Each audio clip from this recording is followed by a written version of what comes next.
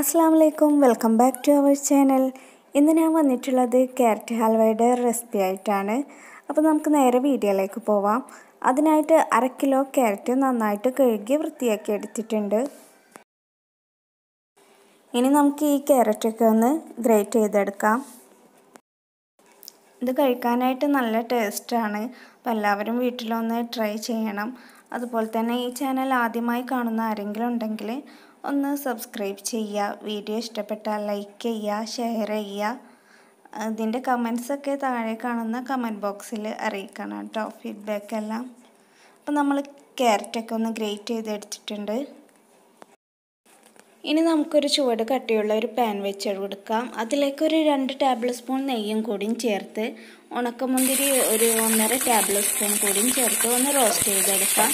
ഇതിലേക്ക് അണ്ടിപ്പരിപ്പ് അതുപോലെ ബദാം നിങ്ങളുടെ കയ്യിൽ എന്തൊക്കെയുണ്ടോ നട്ട്സ് അതൊക്കെ ചേർത്തിട്ടൊന്ന് വഴറ്റിയെടുക്കാം കേട്ടോ.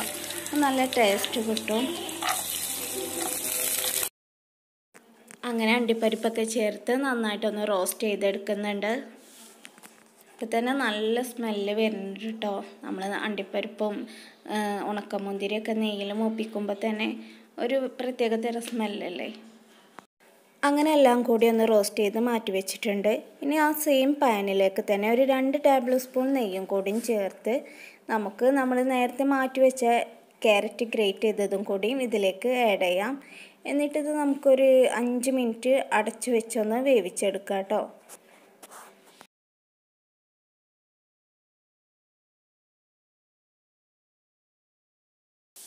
അങ്ങനെ ഏകദേശം ഒരു അഞ്ച് മിനിറ്റ് ആയിട്ടുണ്ട്. ഇനി നമുക്കിതൊന്ന് തുറന്ന് നോക്കാം. ഇനി ഇതിലേക്കൊരു ഒന്നര ലിറ്റർ പാലാട്ടോ ചേർക്കുന്നത്. ഇത് പാലിൽ വേവിച്ചെടുക്കണം. അപ്പോഴാണ് നല്ല ടേസ്റ്റ് കിട്ടുക. ഈ ക്യാരറ്റ് പാലും നന്നായിട്ട് വെന്ത് ഇരിക്കണം. ഇതിലേക്ക് പാൽ ചേർത്ത് കഴിഞ്ഞാൽ നമ്മൾ കൈവിടാതെ ഇങ്ങനെ ഇളക്കി കൊടുക്കണം. അല്ലെങ്കിൽ ഇത് അടിയിൽ പിടിക്കും. അപ്പം ഒരു ടേസ്റ്റും ഉണ്ടാവില്ല. അപ്പോൾ കൈവിടാതെ ഇളക്കി ഇങ്ങനെ കൊടുക്കണം. എന്നിട്ട് ഇത് വെന്ത് വരണം. ഈ പാലിൽ ഈ ക്യാരറ്റ് നന്നായിട്ട് വെന്ത് വരണം.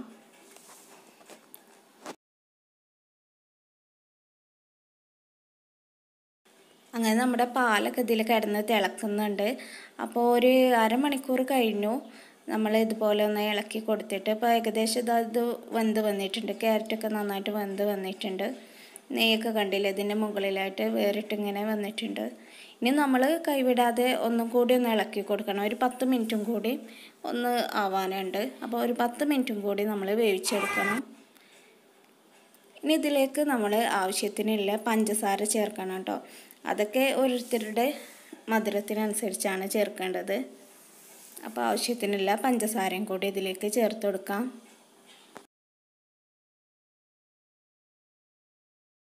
അങ്ങനെ എല്ലാം കൂടി ഒന്ന് മിക്സ് ചെയ്ത് ഇപ്പോൾ ഇതാ പത്ത് മിനിറ്റ് കഴിഞ്ഞിട്ടുണ്ട്. ഇനി ഇതിലേക്ക് നമ്മൾ റോസ്റ്റ് ചെയ്ത് വെച്ച അണ്ടിപ്പരിപ്പും ഉണക്കമുന്തിരിയൊക്കെ ഇതിലേക്ക് ചേർത്ത് കൊടുക്കുക കേട്ടോ.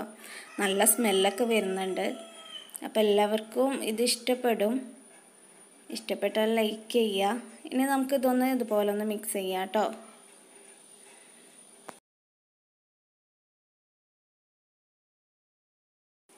അങ്ങനെ നമ്മളിപ്പോൾ എല്ലാതും കൂടി ഒന്ന് മിക്സ് ചെയ്തടിച്ചിട്ടുണ്ട് അപ്പോൾ നമ്മുടെ പാലൊക്കെ ഇതിൽ കിടന്ന് വറ്റിയിട്ടുണ്ട്. അങ്ങനെ നമ്മുടെ ക്യാരറ്റ് ഹൽവ റെഡി ആയിട്ടുണ്ട്. ഇതിലേക്ക് ലാസ്റ്റ് വേണ്ടത് നമ്മുടെ ഒരു കണ്ടൻസ്ഡ് മിൽക്ക് ഒരു ചെറിയ ഒരു അൻപത് ഗ്രാം കണ്ടൻസ്ഡ് മിൽക്ക് ചേർത്ത് കൊടുക്കുക കേട്ടോ. എന്നിട്ട് ഇതൊന്നും കൂടി ഒന്ന് മിക്സ് ചെയ്തെടുക്കാം. കണ്ടൻസ്ഡ് മിൽക്ക് ചേർത്ത് ഒന്ന് മിക്സ് ചെയ്ത് കഴിഞ്ഞാൽ അധികം തിളക്കാൻ പാടില്ല. അപ്പോൾ നമ്മുടെ ഈ ക്യാരറ്റ് ഹൽവേന്റെ ടേസ്റ്റൊക്കെ പോവും. അപ്പോൾ ഇതൊന്ന് മിക്സ് ചെയ്തിട്ട് ഒരു ഒരു മിനിറ്റ് കഴിഞ്ഞാൽ അപ്പം തന്നെ തീ ഓഫ് ചെയ്യുക കേട്ടോ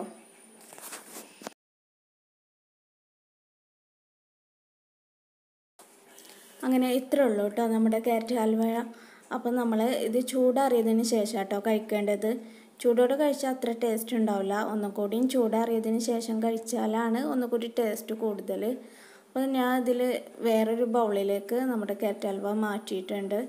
അപ്പോൾ എല്ലാവർക്കും ഇഷ്ടപ്പെട്ടിട്ടുണ്ടെങ്കിൽ ലൈക്ക് ചെയ്യുക ചാനൽ ആദ്യമായി കാണുന്ന ആരെങ്കിലും ഉണ്ടെങ്കിൽ ഒന്ന് സബ്സ്ക്രൈബ് ചെയ്യുക. സബ്സ്ക്രൈബ് ചെയ്യുമ്പോൾ തൊട്ടപ്പുറത്തുള്ള ആ കുഞ്ഞു ബെല്ലൈക്കൺ കൂടി ഒന്ന് ക്ലിക്ക് ചെയ്യുക. എന്നാലേ ഞങ്ങളിടുന്ന വീഡിയോസ് നിങ്ങൾക്ക് അപ്പോൾ തന്നെ നോട്ടിഫിക്കേഷനായി ലഭിക്കുകയുള്ളൂ. താങ്ക്